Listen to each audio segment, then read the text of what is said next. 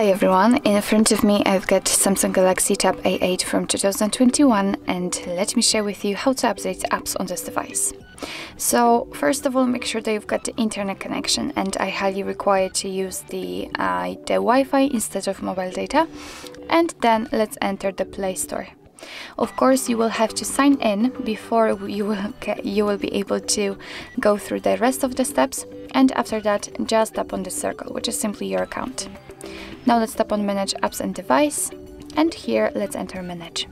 And as you can see, this is the list of all apps which are currently installed on this device. And if you'd like to check the updates, just tap on Updates Available. And as you can see in my case, the same amount of, of apps um, which are installed can be updated.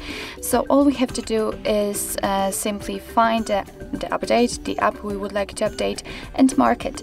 So of course you can mark all of them um, or just two or three. I will pick, uh, oh maybe Google Photos and um, the Gmail. As you can see I can mark two different apps and all we have to do right now is to simply tap on this updates icon here. And as you can see, the um, update right now will be downloaded and after that it will be successfully installed and automatically updated, automatically applied. So basically you do not really need to do anything more, just wait. So actually this is it, this is how to update apps in your Samsung Galaxy Tab A8 from 2021.